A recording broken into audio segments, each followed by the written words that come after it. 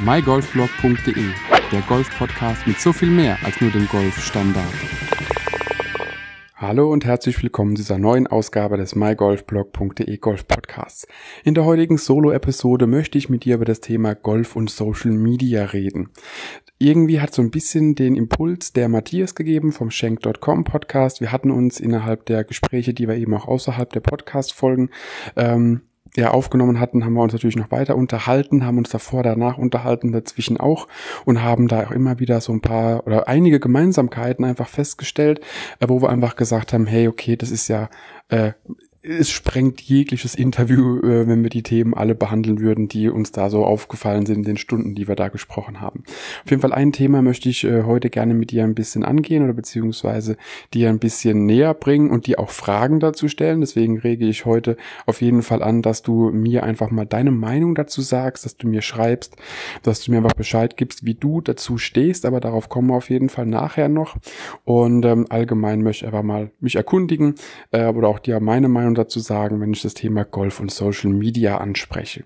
Es gibt eben viele Leute, die die ganzen sozialen Medien eben nutzen, um ähm, im Bereich Golf zu posten. Und das war so das Schöne dran, der Matthias und ich haben so festgestellt, wir beide sind Golfer, die halt einfach auch auf Social Media ihre, äh, ihre Passion teilen und dass es eben auch noch andere Leute gibt. Das war mir so vorher gar nicht so, so ähm, direkt bewusst, dass es auch Leute gibt, die diese Nische Golf einfach besetzen. Das heißt, die sind keine Golfer, sie sind vor allem Blogger, sind vor allem äh, ja, Interessierte an Golfsport, aber sind per se keine eigentlichen Golfer, die halt auch mal ein Foto machen und das online stellen, sondern vor allem Dingen Golf bezogenen Content äh, generieren und es dir eben dann auf Social Media teilen, posten, um zu zeigen, was man da eben auch hat. Logischerweise gibt es da einfach Leute, die erfolgreicher damit sind, es gibt Leute, die weniger erfolgreich damit sind, aber allgemein belebt es ja auch den, den ganzen äh, Social Media Himmel, nenne ich es jetzt einfach mal.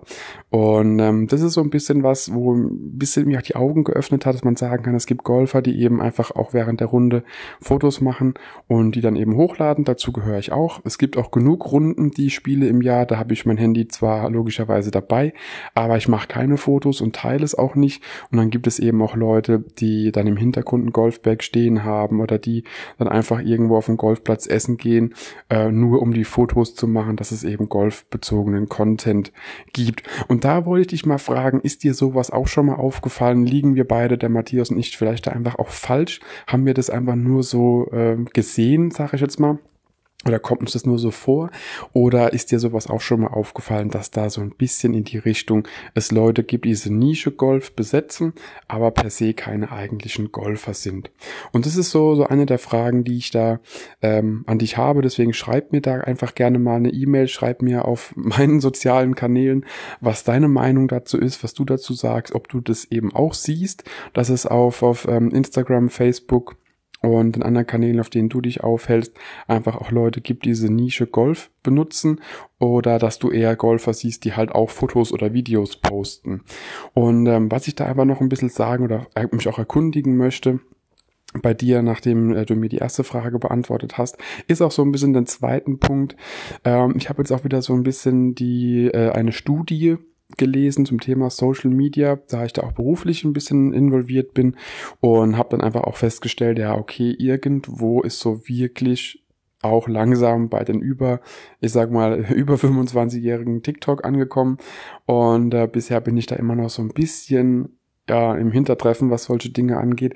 Denn bisher weigere ich mich noch ein bisschen weitere Kanäle zu bespielen, weil ich mir denke, okay, bei Instagram bin ich sehr aktiv, das muss ich dazugeben. Facebook wird eben parallel mitbespielt. Wenn ich auf Instagram poste, wird derselbe Post auch auf Facebook abgegeben und ansonsten war es das, wenn man jetzt mal vom Blog her absieht und vom Podcast absieht. Und daher also meine Frage an dich was ist so dein Social Media Golf-Kanal, den du vor allen Dingen konsumierst? Ist es mehr Facebook? Ist es mehr Instagram? Ist es mehr TikTok? Ist es irgendwas, was ich vielleicht gar nicht kenne? Ähm, ich rede nicht mal mehr von YouTube. YouTube ist ja, ist, zählt zwar auch damit rein, ist aber für mich eher in dem Fall was anderes. Denn bei Facebook, bei TikTok und bei Instagram kann man natürlich noch mehr Medieninhalte teilen, wie, wie nur Video, wie bei YouTube das eben der Fall ist. Daher würde es mich wirklich mal interessieren, was so deine Kanäle sind, die du einfach für das Thema Golf noch nutzt und die du vielleicht auch abseits vom Golf äh, eher benutzt und was so für dich eben die Kanäle der Wahl sind, wenn es ums Thema Golf geht. Und äh, ja, gibt es vielleicht noch irgendwas, was, was, ja, was ich vergessen habe, wo du sagst, hey, das ist aber noch ein, ein, Kanal, der, der muss da doch auftauchen, warum sagt er das nicht? Dann immer her damit. Ich bin ja auch nur irgendjemand, der den ganz normalen Job nachgeht und alles andere nebenher macht.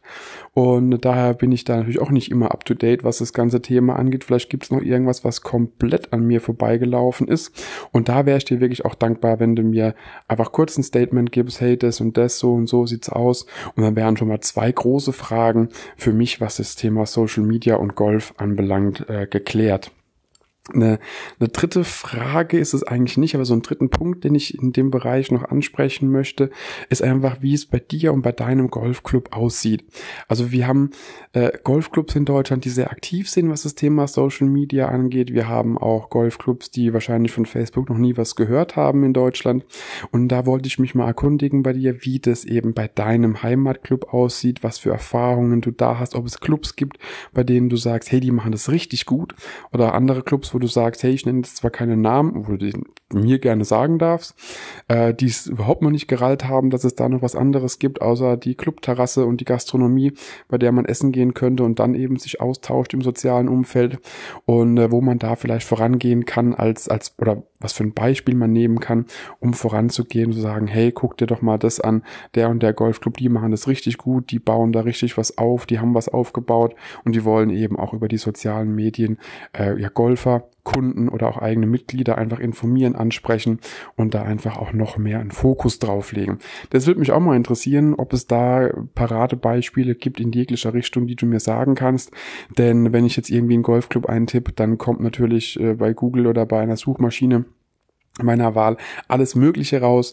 Da bin ich immer interessiert, wenn mir Leute einfach sagen, hey, guck doch mal, da ist das und das, da kannst du mal schauen, äh, die machen das richtig gut oder auch allgemein zu sagen, hey, guck mal, da hm, ist so für mich das Positivbeispiel und das andere ist eher so das Negativbeispiel, damit man da einfach mal ein Gefühl für bekommt. Denn mir kommt es immer wieder so vor, dass es eben beide Extreme gibt. Es gibt Golfclubs, die machen ein bisschen was und es gibt wiederum Golfclubs, die machen sehr viel und es gibt wieder Golfclubs, ähm, die schwimmen irgendwo so zwischendurch. Da gibt's mal in der Hauptsaison sehr viele Kommentare, sehr viele Postings und Interaktionen und dann in der Nebensaison oder auch dann bei der aktuellen Wintersaison eher weniger was.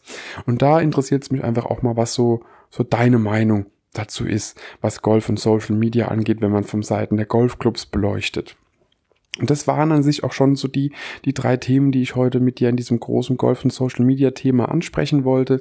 Ich kann nur dazu sagen, mir macht es immer noch Spaß, auch ähm, YouTube und Instagram zu bedienen. Facebook, wie gesagt, wird mitbedient und äh, finde ich immer noch eine interessante Sache. Man lernt verdammt viele Leute kennen, die einfach dasselbe Hobby auch haben und hat einfach sehr viele Überschneidungen, mit denen man dann einfach auch wiederum äh, ja, sich auch persönlich treffen kann. Also für mich ist zum Beispiel Instagram ein sehr guter Kanal. Ich habe dort sehr viele gute Kontakte bekommen, mit denen ich auch mich persönlich schon getroffen habe, mit denen ich auch mal golfen gehe, mit denen man sich mal so austauscht, auch abseits von diesem äh, ja, Social Media Kanal einfach der Kontakt da ist. Und ähm, das ja, ist wirklich eine Bereicherung, muss ich dazu sagen, denn ansonsten wäre ich mit den Leuten wahrscheinlich nie in Kontakt gekommen. Und daher bin ich mal sehr gespannt. Wie gesagt, schreib mir gerne an mail at mygolfblog.de oder geh auf Instagram, gib Andreas unterstrich mygolfblog ein, dann wirst du auch auf meinen Kanal kommen. Ich werde nochmal alles in den Show Notes verlinken, meine ganzen Kanäle, damit du mir eben schreiben kannst. Und bin wirklich sehr interessiert daran, was so deine Meinung zum Thema Golf und Social Media ist. Ich danke dir fürs Zuhören, wünsche dir auf jeden Fall noch viel Spaß in diesem Winter und äh, ja, halt auf jeden Fall die Ohren steif. Ich hoffe, du darfst golfen gehen und deine Plätze sind geöffnet und wünsche dir viel Spaß auf der nächsten Runde und bis dahin. Ciao, ciao. Wenn dir die Podcast-Folge gefallen hat, teile sie mit deinen Freunden, teile sie mit deinen Flightpartnern, gerne auch per Instagram, Twitter, Facebook oder per E-Mail. Gib mir dazu ein Feedback und bewerte die Podcast-Folge mit 5 Sternen, damit wir gemeinsam noch mehr Golfer erreichen. mygolfblog.de, der Golf-Podcast mit so viel mehr als nur dem Golfstandard.